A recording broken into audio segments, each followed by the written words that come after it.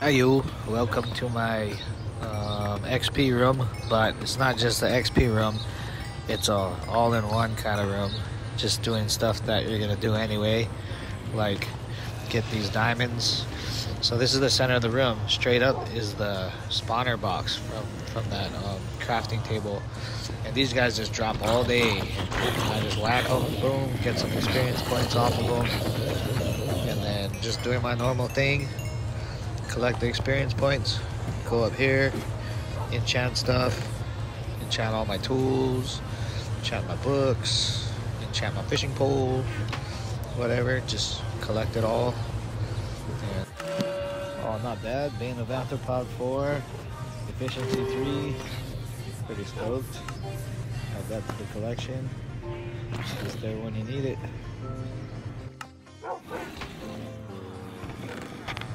Stack those diamonds.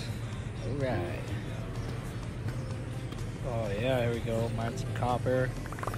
Get all that stuff going with the Fortune 3 pick. Collect them, utilize as much as you can. And then boom, throw them in that top chest. This is where I throw all the junk from the, the zombies, that whatever they drop.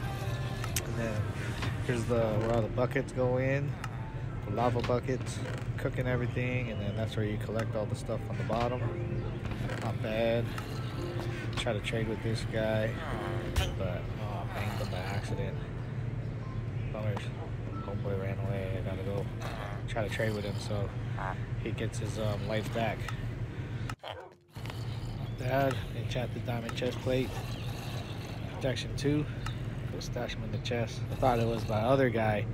He does. He has a protection 3 with the, the thorns. Thorns 1. But, oh, good. Stokes, Not bad for some diamonds. 7 or 8 diamonds. Alright.